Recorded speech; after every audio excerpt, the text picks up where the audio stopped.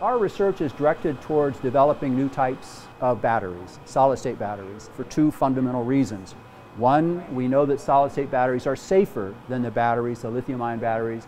The second reason we work with solid state batteries is we can store more energy in them. They're more energy dense. Your battery lasts longer. I am uh, casting a uh, glassy solid electrolyte.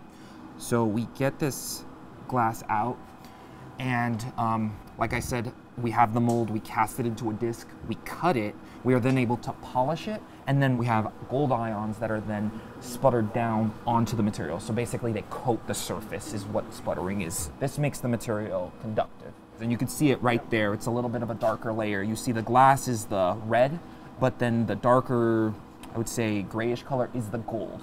So I've been working on this project since the spring of 1986 when I came to Iowa State so many years ago.